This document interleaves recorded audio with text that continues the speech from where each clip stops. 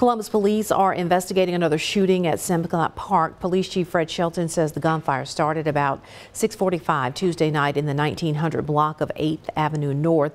One man was shot in the leg. He was later treated and released from the hospital. The chief says the victim is not cooperating with this investigation. Detectives are reviewing surveillance footage from a recently installed city-owned camera. So far, no arrests have been made. There was another shooting in that same area May 17th.